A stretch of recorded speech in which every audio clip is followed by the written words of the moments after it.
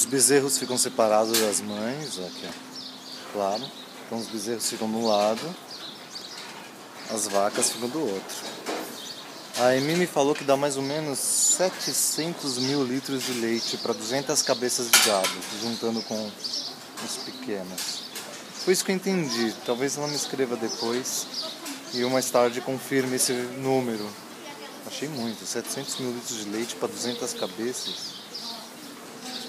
Sei lá se isso é ou não é. Mas dá muito. Aparentemente elas estão bem confortáveis, né? Mas vamos ver.